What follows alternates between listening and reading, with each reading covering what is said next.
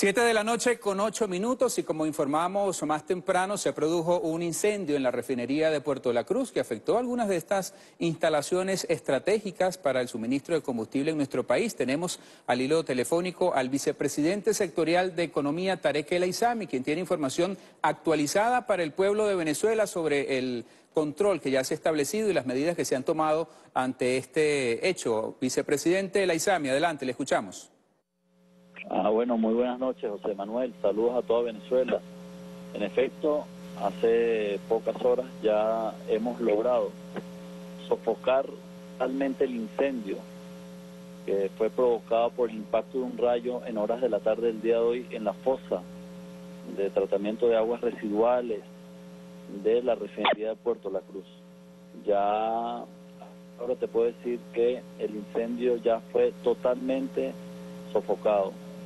Y no solamente eso, en ningún momento durante este evento eh, se interrumpieron las operaciones nuestra refinería. Debo hacerle un reconocimiento a nuestros bomberos, de todas las áreas operacionales de PDVSA.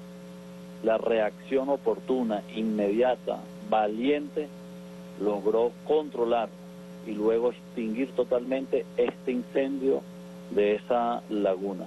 Ahí ustedes están viendo imágenes, ya esas son imágenes capaz hace poco, hace pocas horas de haber controlado la situación. Eh, y además, reitero, las operaciones de nuestra refinería no se vieron comprometidas.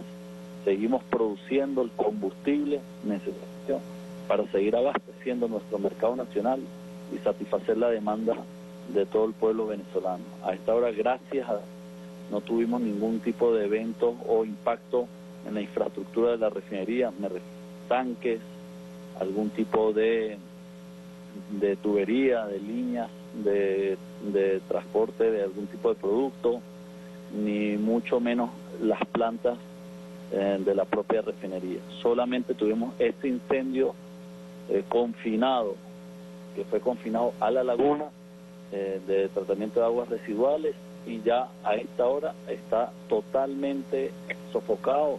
Se hicieron labores de refrescamiento alrededor como parte de los protocolos que se hacen en este tipo de situaciones y ya estamos eh, de nuevo estableciendo todos los servicios alrededor de, de esa zona. La refinería, repito, en ningún momento interrumpió, se vio interrumpida en su capacidad productiva. Bien, vicepresidente, quisiéramos que por favor nos confirme si se ha realizado pues ya esta confirmación, insisto, de eh, la causa ¿no? que se produjo con este incidente meteorológico y además, dado que en la temporada de lluvias y de tormentas aún prevalece en el territorio nacional, si existe algún protocolo activado o si dentro del funcionamiento de las operaciones están previstos este tipo de acontecimientos y para eh, evitar impactos en otros estados o en otras refinerías.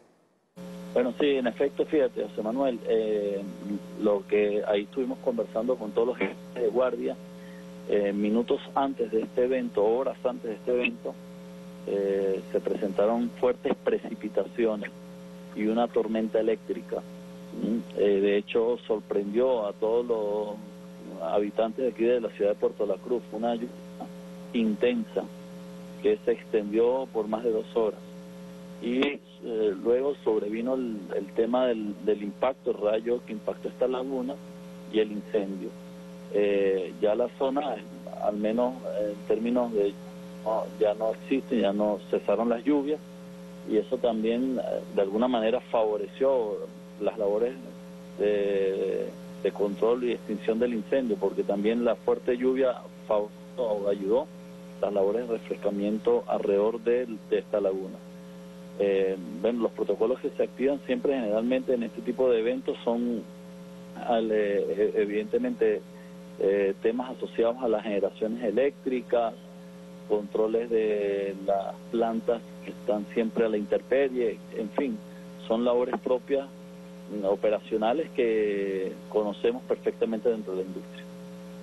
Bien, muchísimas gracias, vicepresidente Tarek El Aizami. Allí escuchó el pueblo de Venezuela y todo el mundo a través de esta declaración, pues la confirmación de que ya se encuentra operativa la refinería de Puerto La Cruz. Avanzan los protocolos de mantenimiento y de resolución de la afectación que se generó más temprano por el impacto de esta tormenta eléctrica en algunas de las áreas de las instalaciones de la refinería de Puerto La Cruz. No hubo, afortunadamente, daños considerables ni en materia de infraestructura y mucho menos en el cuanto a la vida o a la integridad física de las trabajadoras y trabajadores de este complejo petrolero. Muchísimas gracias por la información al viceministro, al vicepresidente Tarek El Aizami, ministro de Petróleo, y también agradeciendo a usted por su sintonía. Le invitamos a que más adelante nos acompañe porque estaremos ampliando sobre este y otros temas, principalmente en nuestra emisión estelar. Muchísimas gracias y muy buenas noches.